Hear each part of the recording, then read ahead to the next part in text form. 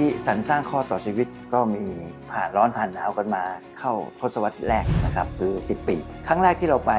นำศักยภาพเราไปมอบให้กับผู้ป่วยในพื้นที่ห่างไกลตามชายขอบแม่สอดเป็นโรงพยาบาลแรกที่เรานึกถึง เพราะว่าเรามีสิทธิ์ที่จบจากเราไปทำงานอยู่ที่นั่นนะครับ เราจะได้ประสานงานในเรื่องของความปลอดภัย การดูแลผู้ป่วยหลังผ่าตัด เพราะว่าเป็นการผ่าตัดใหญ่มาก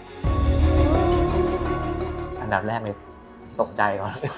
อาจารย์พวกเราเนี่ยโรงพยาบาลแม่สอดเนี่ยเราทำกันอยู่แค่สามคน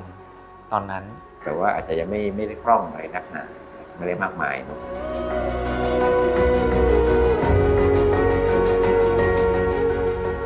กเราได้ผู้ป่วยสิคนนะครับยังคิดถึงเสมอว่าครั้งนั้นตื่นเต้นกันมาก เราไปหาเขาลงขันกันเองนะครับ เพื่อให้ผู้ป่วยไม่ต้องเสียค่าใช้จ่ายใด ๆ เราก็รวบรวมทั้งค่าใช้จ่ายเดินทางค่าอุปกรณ์การผ่าตัดที่จะต้องใช้ส่วนต่างให้กับผู้ป่วยไปให้หมดเลยนะครับ นั่นก็คือครั้งแรก 10 ชีวิตนะครับที่ผ่านการดูแลจากมูลที่สันสร้างข้อต่อชีวิต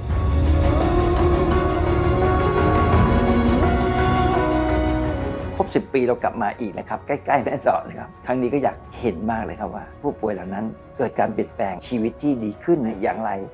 เราอยากพบพวกเขาคิดถึงอยากเห็นผลงานที่เราได้มีส่วนช่วยเติมชีวิตเหล่านั้น ให้กลับมาเป็นอย่างไรกันบ้างนะครับ